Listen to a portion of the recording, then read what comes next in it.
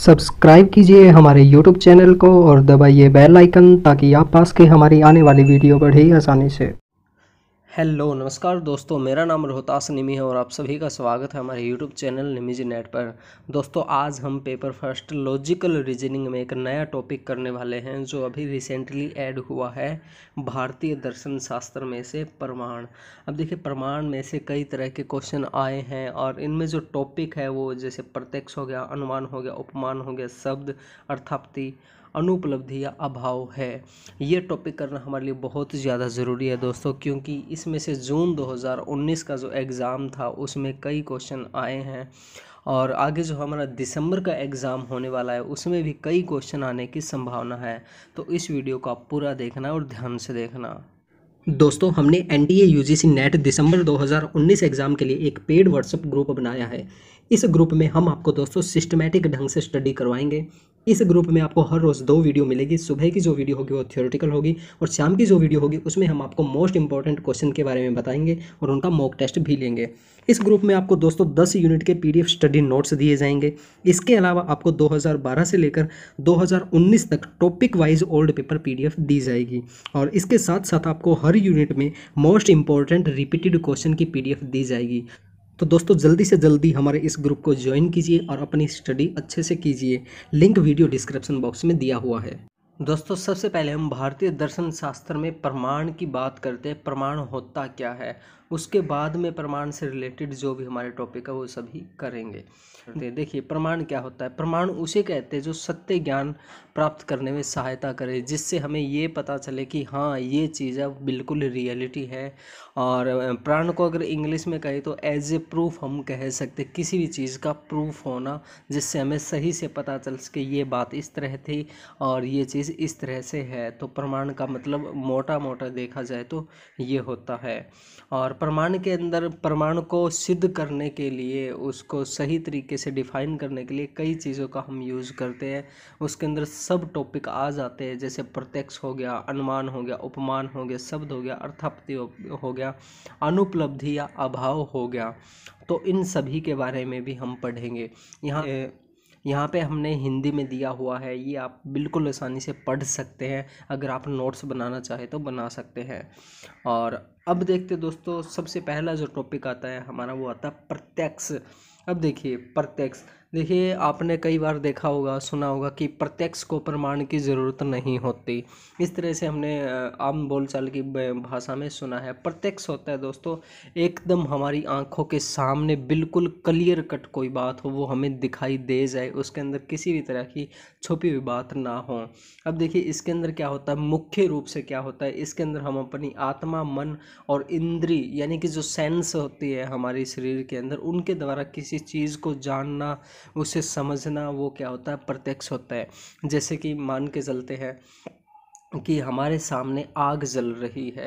ये देखिए, जैसे हमारे सामने कहीं पे आग जल रही है इस तरीके से तो ये हमें बिल्कुल साफ़ साफ़ तरीके से दिख रहा है भाई, वो आग जल रही है। उसके अंदर किसी भी तरह की कोई बात छिपी हुई नहीं है। हम एकदम से एक सेकंड में समझ जाएँगे कि वो आग जल रही है। इस तरीके से यानी कि हमारे सामने प्रत्यक्ष प्रमाण हों। और जैसे कि किसी को चोट लगी हुई हो तो हम उसको देख ले, उसे खून बहता हुआ देख ले तो वो क्या होगा कि वो हमारे सामने प्रत्यक्ष प्रमाण होगा।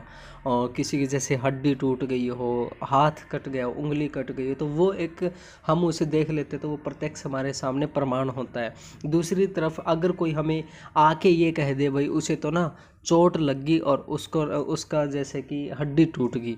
तो वो एक प्रत्यक्ष प्रमाण नहीं है दोस्तों। वो हमें क्या है कि हम, हमें कोई बता रहा है, हम उसकी बातों पे केवल और केवल विश्वास कर सकते हैं और वो विश्वास हम उस पर उतना करेंगे, अगला व्यक्ति देखना पड़ेगा वो कितना विश्वास योग्य है। तो वो प्रत्यक्ष नहीं होता हमारे सामने, प्रत्यक्ष वो होता है जो हमारी आँखों के सामने, हमारी सेंस के सामने जो हो, उसे हम प्रत्यक्ष प्रमाण कहेंगे। और यहाँ पे आप हिंदी में पढ़ सकते पूरी बातें हमने दी हुई है। अब देखिए, आगे है हमारा दोस्तों, आगे है अनुमान। अनुमान जैसे कि जैसे नाम से ही पता चल रहा है, हमें अनुमान लगाना, हमें अंदाज़ा लगाना किसी चीज़ के बारे में। इसे अब देखिए, इसके अंदर, अनुमान के अंदर क्या होता है कि ऐसी कोई चीज़ जिसका हमें डायरेक्ट रूप से पता नहीं चल रहा हो, जिसका प्रत्यक्ष रूप से हमें कुछ पता नहीं चल रहा हो तो वहाँ पे हम क्या करेंगे? अनुमान लगाएँगे। भाई हाँ ये हो सकता है, ये हो सकता है। वहाँ पे हम अपनी जो थिंकिंग है वो दौड़ाएँगे कि क्या क्या हो सकता है, संभावनाएँ वहाँ पे देखेंगे। अब देखिए, जैसे यहाँ पे मैंने एक एग्जांपल दिया हुआ है, जैसे यहाँ पे आप देख सकते हैं कि ये धुआँ है यहाँ पे, इतना धुआँ है ब्लैक ब्लैक तो यहाँ पे हम, हमें नहीं पता कि यहाँ पे आग जल रही है या पटाखों का धुआँ है या फिर आर्टिफिशियल कोई धुआँ है यहाँ पे। किस तरह का धुआँ है, ये हम नहीं कह सकते। हम अंदाज़ा लगा सकते कि हाँ यहाँ पे आग लगी हुई होगी। हम अंदाज़ा लगा सकते, अनुमान यहाँ पे लगा सकते हैं, लेकिन सौ परसेंट नहीं कह सकते कि यहाँ पे क्या चीज़ है। देखिए, यहाँ पे होने को कुछ भी हो सकता है, जैसे कि किसी मशीन के द्वारा ये धुआँ छोड़ा गया हो, या फिर यहाँ पे आग लगी हो, और या फिर यहाँ पे पटाखे जलाए गए हो तो कुछ भी यहाँ पे हो सकता है। हम केवल और केवल अनुमान लगा सकते हैं। ठीक है? और उसके बाद है दोस्तों, उसके बाद मैं बताऊँ आपको, उसके बाद है उपमान। उपमान का मतलब होता है दोस्तों, एक चीज़ का दूसरी चीज़ के साथ कंपैरिजन करके कुछ अर्थ निकालना निकालना, समझना। ठीक है, देखिए, इसके अंदर क्या होता है, जैसे कि किसी भी वस्तु को हम दूसरी वस्तु से कंपेयर करते हैं और फिर अर्थ निकालने की कोशिश करते हैं तो उसे हम उपमान कहते हैं। जैसे कि एक एग्जांपल दो हम, जैसे नील गाय हैं। अब जैसे मान के चलिए, मैं आपको बताऊँ या कि, कोई और किसी को बताए कि मैंने आज एक नील गाय देखी और वो तो बहुत भाग रही थी। तो दूसरा व्यक्ति है, वो सोचेगा, यार, नील गाय कैसी होती है? तो वो पहले वाला व्यक्ति बताएगा भाई जो नील गाय होती है, वो गाय के जैसी होती है, उसके भी चार टांगे होती है और गाय जैसा शरीर होता है उसका। यानी कि वो उसके साथ कंपैरिजन करके वो नील गाय के बारे में बता रहा है कि नील गाय कैसी होती है। दोनों का कंपैरिजन कर रहा है और सिमिलरिटीज़ उनके अंदर जो समानताएँ हैं, वो बता के उसे समझाने की कोशिश कर रहा है। तो जहाँ पे कंपैरिजन करके कोई बात समझाई जाए, उसे हम कहते हैं उपमान कहते हैं। और दोस्तों, यहाँ पे इंग्लिश हिंदी में आप देख लेना क्योंकि कई बार हम हिंदी हिंदी में कंफ्यूज हो जाते हैं। और आगे देखते हैं दोस्तों, आगे है हमारे पास शब्द। अब देखिए सब शब्द प्रमाण के अंदर क्या होता है दोस्तों? और इसे वर्बल टेस्टोनॉमी भी कहते हैं। अब देखिए, शब्द प्रमाण के अंदर क्या होता है कि इसके अंदर हम किसी के कहे गए शब्दों पे ही विश्वास करते हैं। हमें प्रत्यक्ष रूप से नहीं पता होता, हम अनुमान भी नहीं लगा सकते वहाँ पे और प्रत्यक्ष रूप से भी हमें नहीं पता होता और उसे हम टेस्ट भी नहीं कर सकते। हम केवल और केवल जो व्यक्ति, जो बात कह रहा है, उसी पे हमें विश्वास करना होता है। अब देखिए, इसके अंदर क्या होता है? एक एग्ज़ाम्पल दे के मैं आपको समझाता हूँ। आप हिंदी में यहाँ पे पढ़ लेना, मैं एग्ज़ाम्पल दे रहा हूँ आपको। देखिए, अगर कोई वैज्ञानिक आके हमें ये कहे कि चाँद और पृथ्वी के बीच की दूरी इतनी है, तीन लाख चौरासी हज़ार चार सौ किलोमीटर इन दोनों के बीच की दूरी है तो ये क्या है दोस्तों? ये हमें विश्वास करना होगा वैज्ञानिक की बातों पे। हम खुद, वो तो नहीं है ना कि हम इसकी डिस्टेंस मापने चले कि कितनी है, कम है, ज़्यादा है, क्या है, और ना ही हम प्रत्यक्ष रूप से देख सकते कि चाँद और पृथ्वी के अंदर कितनी दूरी है। हम नहीं देख इसके अंदर प्रत्यक्ष भी नहीं है, यानी कि डायरेक्ट रूप से हम नहीं देख सकते कि दोनों के अंदर कितनी डिस्टेंस है, ना ही हम इनके अंदर अनुमान लगा सकते और ना ही इसके अंदर उपमान, यानी कि कंपैरिजन कर सकते। इसके अंदर क्या है कि जो वैज्ञानिक ने कह दिया, उस पर हम विश्वास कर सकते हैं। तो ये होता है हमारे पास शब्द प्रमाण, यानी कि जो व्यक्ति यानी कि कोई व्यक्ति कुछ बात कर रहा है तो उस पर विश्वास कर लेना। जैसे कि हमने देखा होगा कि अपने आप में बाबा जो लोग बनते हैं, वो कहते कि भगवान ऐसा होता है, ये करने से ये होता है, ये करने से वो होता है। हम क्या करते हैं कि उनकी बातों पे विश्वास कर लेते हैं। हमें डायरेक्ट रूप से नहीं पता होता कि सच्चाई क्या है, झूठ क्या है, कैसे है। हम केवल और केवल उनकी बातों पे विश्वास कर लेते हैं। तो उसे कहते हैं शब्द प्रमाण कहते हैं। और नंबर फाइव पे आता है दोस्तों, अर्थापति। अब देखिए अर्थापति का क्या मतलब होता है कि जैसे कोई किसी ने कोई बात कह दी, उसकी बातों से हम कुछ अर्थ निकालें तो उसे हम कहेंगे अर्थापति यानी कि अर्थ के द्वारा जो प्राप्ति होती है हमें ज्ञान की, उसे हम अर्थापति कहते हैं। अब देखिए, इसके अंदर क्या होता है, जैसे हम मान के चलते हैं कि एक व्यक्ति है देववत देववत हमने मान, नाम मान लिया इसका। भाई, देववत दिन में भोजन नहीं करता, लेकिन फिर भी वह मोटा है। अब देखिए जैसे देववत के बारे में मैं आपको एक लाइन कह दूँ कि देववत दिन में कुछ भी नहीं खाता फिर भी खूब मोटा है।